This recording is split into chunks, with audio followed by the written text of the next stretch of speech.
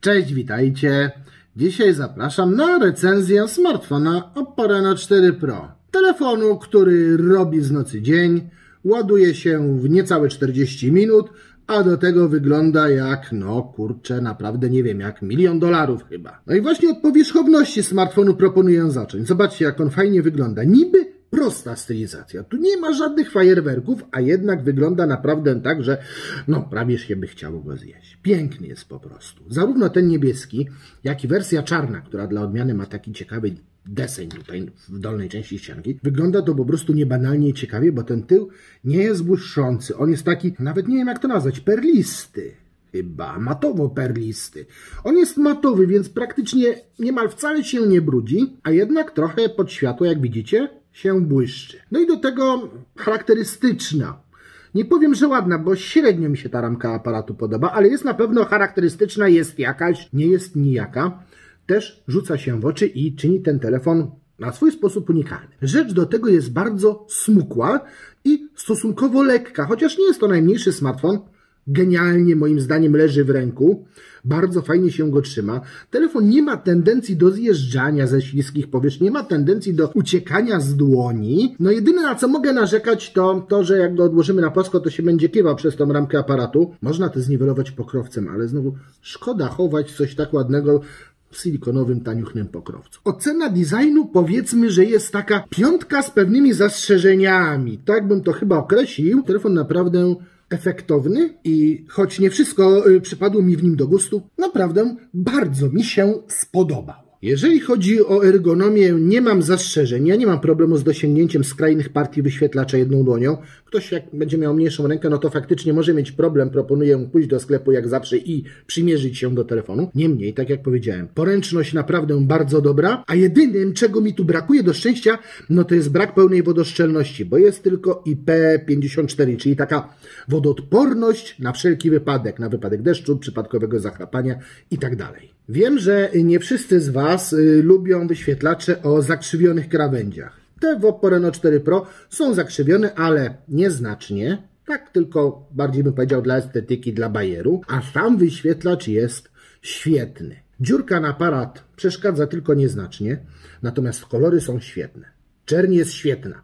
Poziomy jasności znakomite. Do tego odświeżanie z częstotliwością do 90 Hz. Jest też możliwość wyłączenia szybkiego odświeżania i przejścia na standardowe po to, żeby oszczędzać akumulator. Są systemy ochrony wzroku. Jest możliwość przełączenia interfejsu na tryb czarno-biały. Jest też system ochrony przed migotaniem ekranu. No i jest również boczny panel ze skrótami, które oczywiście możemy sobie edytować. Naturalnie, ponieważ jest to AMOLED, mamy też Always On Display i podświetlenie krawędziowe, czyli system powiadomień za pomocą rozbłysków brzegów zagiętego wyświetlacza. Jeżeli chodzi o zabezpieczenia, mamy typowy zestaw. Czytnik linii papilarnych w ekranie plus rozpoznawanie twarzy. Czytnik jak na ekranowy jest naprawdę dobry, ma stosunkowo dużą niezawodność i dosyć szybkie działanie, a z kolei tryb rozpoznawania twarzy całkiem nieźle radzi sobie nawet przy słabym oświetleniu. Jeżeli chodzi o systemy zabezpieczeń, większych zastrzeżeń nie mam. Nie mam też poważniejszych zastrzeżeń względem y, komunikacyjnej strony tego urządzenia.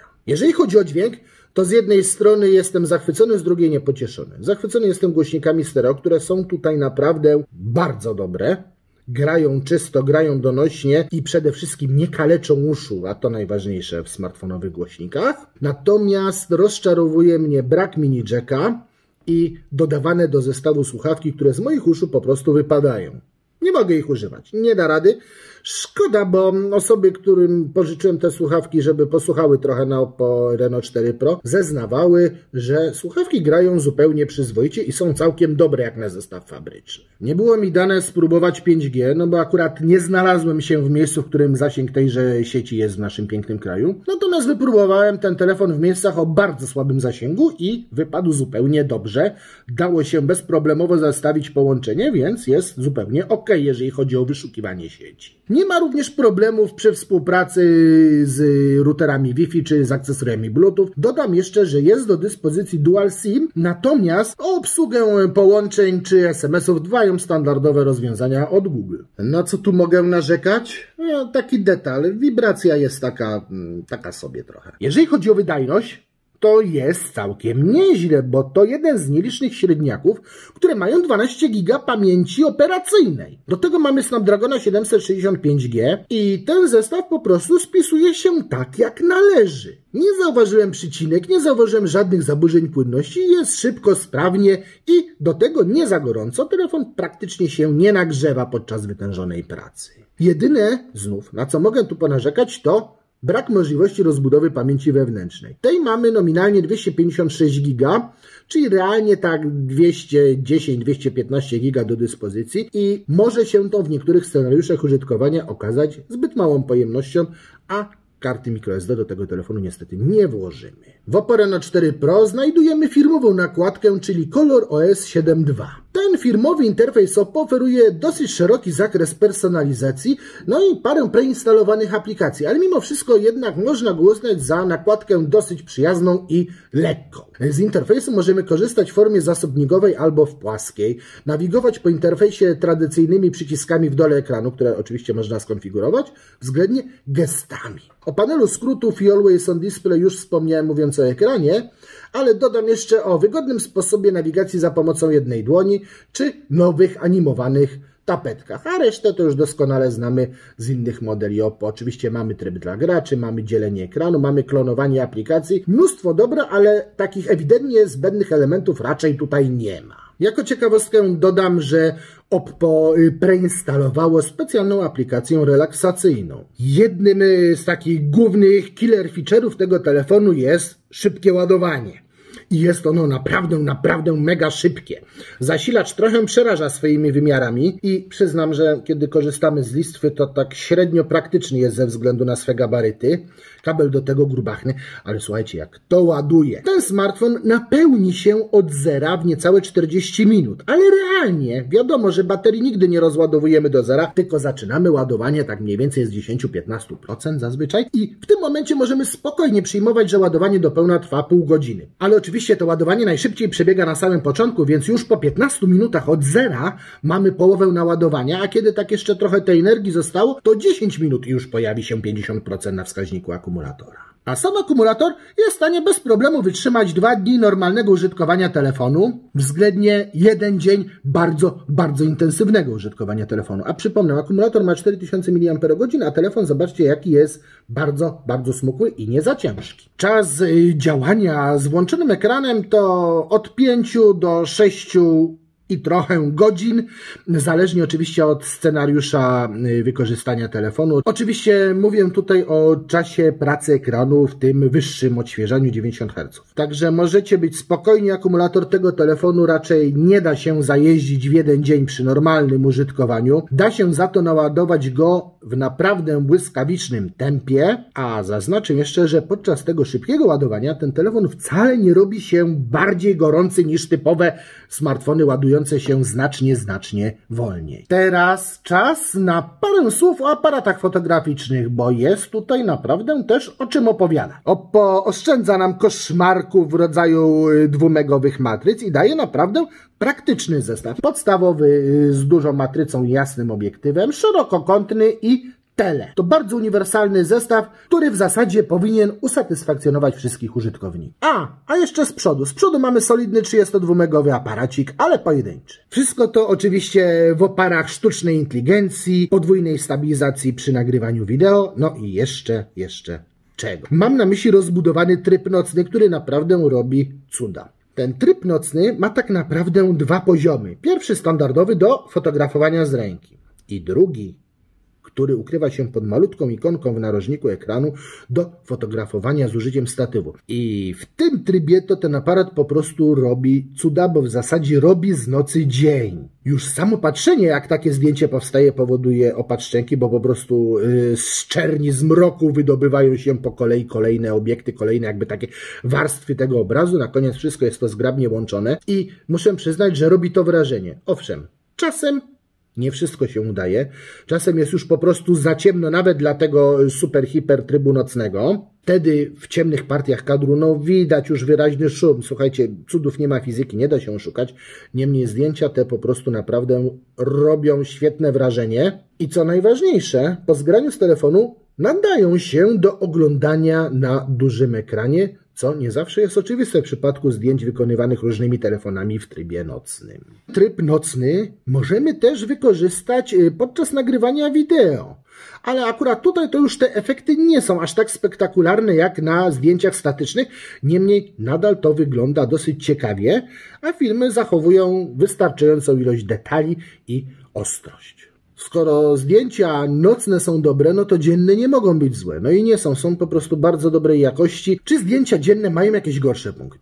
Y, tryb olśniewającego koloru czasem potrafi przekolorować zdjęcie i przesadzić z tymi barwami. Czasem taki efekt jest pożądany, czasem nie, tu już trzeba wypróbować. W zdjęciach szerokokątnych z kolei e, w skrajach kadru widać już delikatną utratę e, wyrazistości detali. No ale to też jest normalne w przypadku obiektywów szerokokątnych. Podobnie jak w przypadku teleobiektywu normalne jest to, że najlepsze efekty uzyskujemy korzystając e, ze zbliżenia, które daje nam sam obiektyw. W tym przypadku niestety jest tylko dwukrotne, a wszystko co więcej to już jest realizowane hybrydowo lub cyfrowo.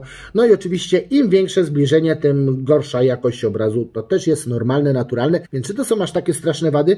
No nie powiedziałbym. Są to jakby typowe przypadłości tego rodzaju obiektywów. Fotografując trzeba po prostu te rzeczy brać pod uwagę. Wracając jednak do wideo, warto wypróbować przy nagrywaniu podwójną stabilizację obrazu. Y, wtedy przy filmowaniu faktycznie nawet dosyć duże y, ruchy ręki są skutecznie kompensowane. Filmom niczego nie mogę zarzucić, a cieszy mnie niezmiernie możliwość przełączania się pomiędzy obiektywami bez przerywania nagrywania filmu, czyli mogę przejść sobie na przykład z obiektywu szerokokątnego na tele, nie przerywając nagrania. Słabszym punktem y, zapisu wideo jest y, podatność mikrofonów na szumy wiatru, no ale pewnych rzeczy niestety nie da się przeskoczyć. Tu po prostu słychać ten szum wiatru trochę mocniej niż w niektórych konkurencyjnych telefonach. Żeby było ciekawiej, y, w przednim aparacie też jest tryb nocny. Efekty są też trochę, tak jak w przypadku filmów, nieco mniej spektakularne niż w przypadku y, głównego tylnego aparatu, ale nadal na te zdjęcia warto popatrzeć, jest co oglądać nawet na dużym ekranie, a ogólnie selfiaki stoją na naprawdę wysokim poziomie. Nawet rozmywanie tła jest całkiem y, przyzwoite, choć jest realizowane tylko przez oprogramowanie y, za pomocą jednego obiektywu. Interfejs fotograficzny moim zdaniem jest dosyć wygodny, chociaż ja bym wprowadził w nim kilka zmian. Przede wszystkim mocniej bym wyeksponował ten statywowy tryb nocny, nie w postaci malutkiej ikonki gdzieś tam w rogu ekranu, tylko czegoś, czegoś większego. Chciałbym mieć również możliwość ręcznego wymuszenia trybu makro, nie wtedy, kiedy sztuczna inteligencja e, sama za mnie zdecyduje, tylko ja bym chciał móc go po prostu włączyć paluchem. No i pewnie niektórzy użytkownicy chcieliby mieć trochę bardziej rozbudowane funkcje upiększania, nie tylko prosty suwaczek mniej lub bardziej. Ale poza tym innych zastrzeżeń do interfejsu fotograficznego Oppo Reno 4 Pro nie ma. Nie będę ukrywał, że obdarzyłem ten telefon dosyć ciepłymi uczuciami. Spodobał mi się z wyglądu, to już bardzo dużo. Okazał się przy tym całkiem poręczny i praktyczny. Co prawda musiałem się przyzwyczaić do tego, że łącznik jest po przeciwnej stronie co przyciski głośności. Wydajność usatysfakcjonowała mnie w pełni podobnie jak możliwości akumulatora, a tym, co po prostu zwaliło mnie z nóg, było szybkie ładowanie. To jest naprawdę jedna z głównych zalet tego telefonu i coś, czym góruje on nad konkurentami w podobnej cenie. Większych powodów do krytyki nie dała również y, komunikacyjna strona tego telefonu, pomijając niewygodne słuchawki z zestawu. No i mini jack y, w obliczu tych słuchawek urósł trochę tutaj u mnie do miana problemu, chociaż nie każdemu to będzie przeszkadzać. Nie każdemu też będzie przeszkadzać brak gniazda na kartę microSD, chociaż akurat dla mnie jest to pewnego rodzaju mankament. Na y, brak pełnej wodoszczelności i ładowania indukcyjnego to już specjalnie wybrzydzać je będę, bo bez tych rzeczy akurat można się dosyć dobrze obejść. A tryb nocny to już jest coś, co po prostu zwali z nóg i moim zdaniem to po prostu trzeba zobaczyć, zobaczyć ten telefon w akcji, nawet wypróbować sobie go w sklepie, a potem dopiero zastanawiać się, czy warto to kupić, czy nie. Moim zdaniem warto. Nie jest to telefon najtańszy w swojej klasie. Rzekłbym nawet, że cena jest dość wysoka, ale Oppo Reno 4 Pro ma mnóstwo atutów, a tylko kilka niedociągnięć. Mam jednak takie dziwne wewnętrzne przekonanie, że jak już y, zdecydujecie się na ten model, to go polubicie tak jak ja, nawet z tymi pewnymi niedociągnięciami. I to już wszystko. Czas pożegnać Oppo Reno 4 Pro i żegnać się z Wami i do zobaczenia w kolejnych filmach. Cześć!